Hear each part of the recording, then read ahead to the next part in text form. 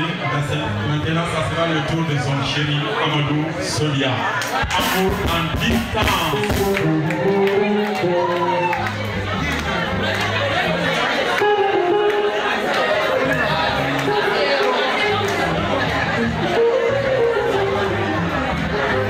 Madame, mademoiselle, monsieur, accueillis Amadou Solia, amour en distance.